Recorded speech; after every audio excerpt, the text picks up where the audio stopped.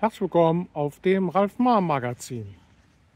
Ich bin jetzt im Naherholungsgebiet von Übach-Palenberg. Das liegt in der Nähe von Aachen.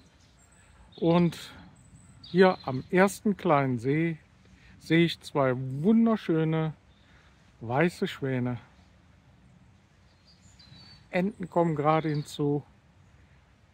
Und der Kormoran, den ich eben noch gesehen habe, hat sich versteckt.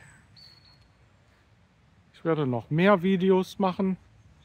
Abonniert meinen Kanal. Bis zum nächsten Mal.